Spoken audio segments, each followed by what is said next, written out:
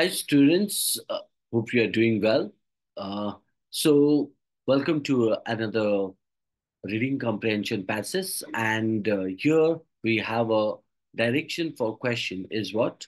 Answer the following questions based on the information given below. So, what I assume that you must have gone through this text. Yet, I would like to give uh, a brief idea about this text. So, the text is trying to give us what? The text or the passage discusses the challenges actually, right?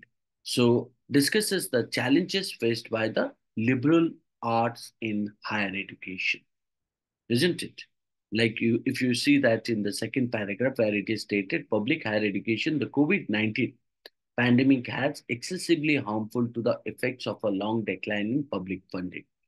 So not only that, it argues for a reframing of how the humanities are taught and valued, emphasizing their importance in addressing societal issues and advocating, advocating for what? Uh, you could say that for justice, isn't it? So uh, it is also said that the uh, it, or it highlights the financial struggles of colleges and universities, the impact of austerity measures, and the need to prioritize the human, despite what uh, despite, you could say that budgetary constraints, isn't it? So uh, you would also find out that uh, um, at the end of it, uh, where the writer talks about what means uh, concluding by urging action to uh, address systematic inequalities, playing with the humanities playing a vital role in this in this endeavor, isn't it? Now, that is what you would find out in this urgent work, the humanities can help, isn't it? So, and if you talk about, this is the something called as a uh, brief idea about the text. If you talk about the main idea of the text, so the main idea also same as you would find out the liberal arts face challenges in higher education, right? So, uh, and uh, why due to funding cuts and the COVID-19 pandemic, there is there is also need to rethink how the humanities are taught uh, and valued, taught and valued uh, to demonstrate their relevance and importance in addressing societal issues. You also find out uh, the another main idea that called as the financial struggles and austerity measures have further compounded the challenges. Challenges faced by whom? Challenges faced by colleges and you can talk about universities right? Uh, despite financial constraints, it is essential to prioritize the humanities in education to address, uh, you could say that systematic inequalities and advocates, advocates for justice, isn't it? Advocates for justice. If you see that the style of the passage, so the style of the passage uh, could be indicated as a informative one, informative, and uh, you could say that persuasive, informative and persuasive, right? So it presents a clear analysis of the challenges facing the liberal arts in higher education. And uh, you could talk about that. Mm, you could say uh, mm, the importance of reframing how the humanities are perceived and taught. Uh, you you could say that the language is again means uh, formal, formal, and uh, articulate beautifully, actually, right? Articulate. Uh, with a focus on what? Uh, at the end, where it is stated the urgency of the situation and advocating for uh, some kind of, a, or advocating for change. So next one, if you talk about the tone of the passage, the tone of the passage is what? Urgent and uh, impassioned, impassioned, isn't it? So the author expresses what actually? The author expresses uh, concern, isn't it? The author expresses concern. Uh, the author also uh, indicating about the current state of the liberal arts, liberal arts um, in higher education and the need for immediate action to address the challenges they face. There is a, you could say, sense of urgency in advocating for the value of the humanities in addressing societal um, societal issues and advocating for justice also. So, um, means you could find out uh, despite the financial constraint and systematic inequalities. Okay, so this is the idea that you can draw the brief information about the passage. The style is informative and persuasive, and the tone is called as urgent and impassioned. Right. So let's jump to the question. So, what does the question point out? What has exacerbated the financial challenges faced by public higher education institutions during the COVID 19 pandemic, according to the passage?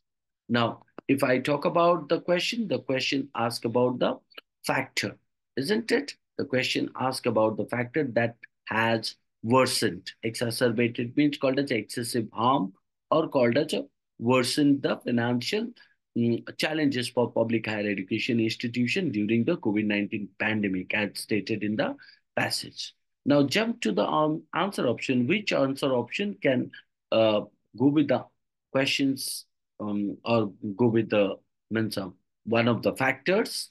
Let's say that the first uh, answer option or first option, which is stated a decline in enrollment due to economic uncertainties.